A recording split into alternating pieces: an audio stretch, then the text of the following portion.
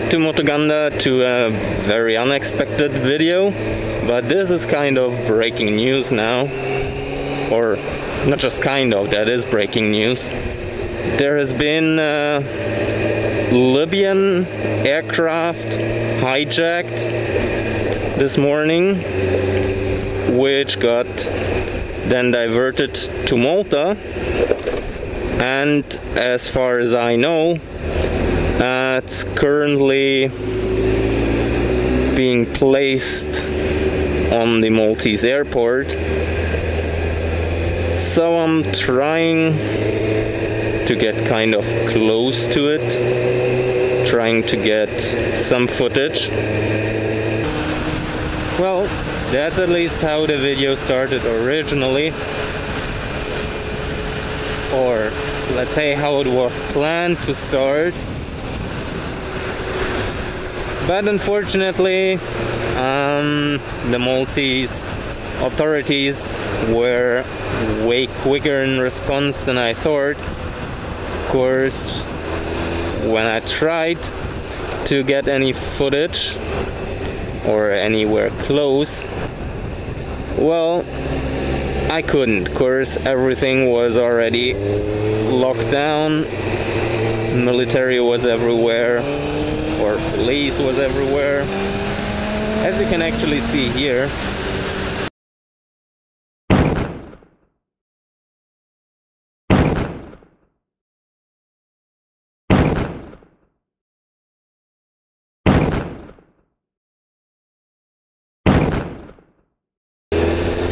But hey, at least I tried. And since it's now three days later, there are even a bit more information about the hijacking. Well, there were two Libyan guys which hijacked the plane on route to uh, within Libya actually wasn't even en route to Malta or anywhere else and apparently those two hijackers were supporters of the previous Gaddafi government, as it said in the media. But well, makes kind of sense since there was some footage where they were waving the old Libyan flag of the Gaddafi, Gaddafi government. And well, they hijacked the plane by what we know by now by fake grenades and fake uh, pistols. But obviously, by that time, it was thought they're real. So they were threatening basically to blow up the plane with grenades. So far, that sounds like a pretty normal hijacking attempt, or well, can you say normal in the case of hijacking? Well, but so far it sounded like hijacking works. Uh, but what was really funny and what makes me really doubt about their motives or how serious they were. Um, when they landed in Malta, uh, okay, the government said, nah, we will only negotiate with you if you release at least the women and the kids. Alright, fair enough. So they did it. And then the government said, um, no, we will only negotiate with you if you release all your hostages, except the crew was first.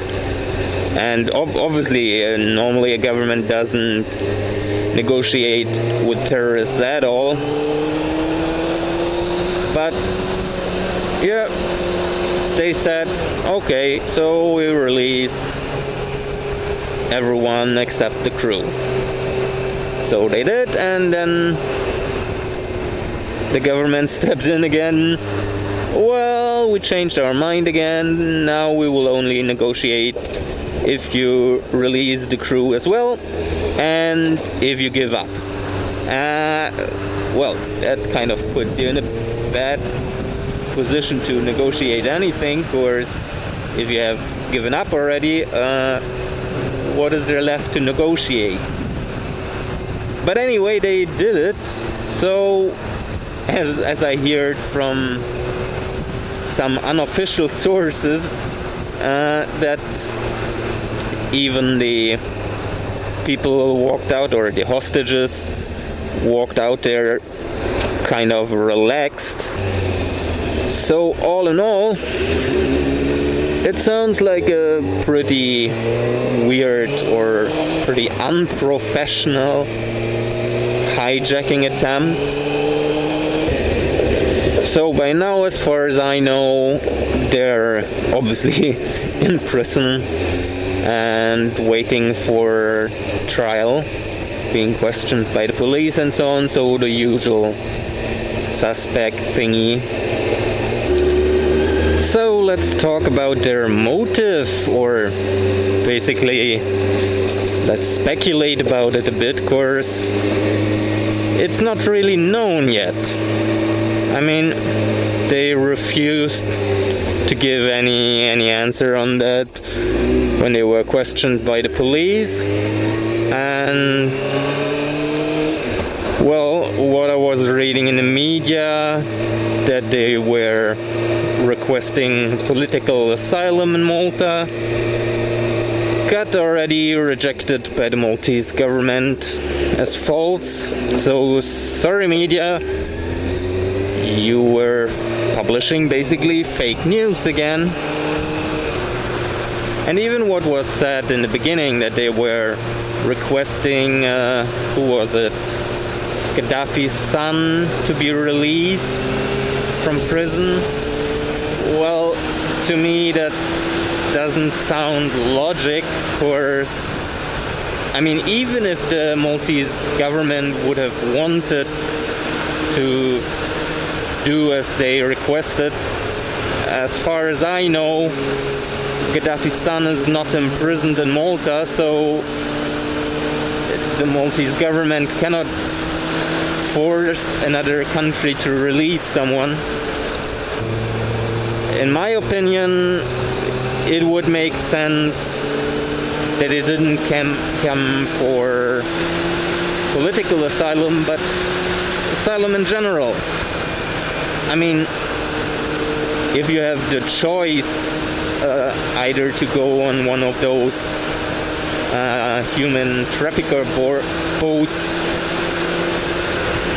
and maybe you drown in the Mediterranean Sea, or you have the choice to hijack a plane.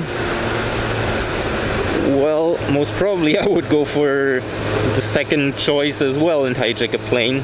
I mean, at least you won't drown and I mean, I've not been to Maltese jail yet, but I guess it might be more comfortable than living in Libya right now. If they would have been true with, yeah, we're gonna blow this plane up and we're gonna execute the hostages, uh, why then they went in with fake weapons and fake grenades? So we are talking about Libya here, and I guess there it's rather easy to get actual weapons or maybe even actual grenades. And I even think it's easier to get real ones than fake ones over there.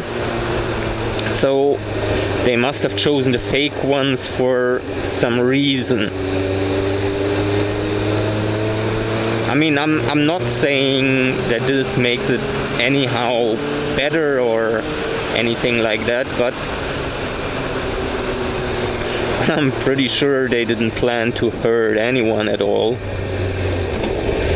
I mean, regardless if they used fake or real weapons, I think they should face trial and they should face quite a long time in prison. Of course, yeah, I think they're terrorists. I mean, hijacking a plane, regardless for what reason, is terrorism. Or at least, how you call it, air piracy, maybe? I don't know. But it's a bad thing, definitely. I, I even think if they ask for asylum, I even think in that case they should be rejected it, of course. Come on. Giving asylum to criminals? I don't think that's a good idea.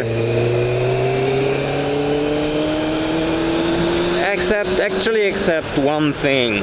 I mean, the Human Rights Convention says you have to give them asylum if they face in their home country uh, either unfair trial or death sentence. Even if they don't face uh, death penalty what, for what they did, I'm kind of sure they won't have a nice life or a safe life anymore if they return. So in that case, well, most probably, even if I don't like the idea, most probably we have to grant them asylum. But hey, maybe we will find out about that in a later video. Of course, I, I did some, well, strange request or funny request. I don't know. Uh, basically, I requested an interview with them, an official interview. And actually that gave already kind of a backlash on Twitter since some people think well they're bad guys they're terrorists well those people are right but uh, they further think that such people shouldn't have the right to be interviewed or shouldn't get any how how they said it uh, shouldn't get any airtime free airtime they even said it. And I basically disagree there of course. Well there were a lot of terrorists already interviewed by mainstream media so why not interviewing them as well might even introduce an all new format on Motoganda, kind of an interview series or something. But well, let's be honest there, the chance that I will be granted an interview with them are, I would say, quite close to zero. But anyway, if I don't try, I won't ever know. So I hope you enjoyed this video, and if you did so, make sure to give it a thumbs up and share it as usual with all of your friends. And if you have any ideas or any opinion if I should go for the interview or not just put it down there in the comment section. And don't forget to subscribe. I mean my subscribers increased recently which is quite a good thing. But are still below 50 at the moment. So quite a small audience to be honest. But anyway, I see you in the next video.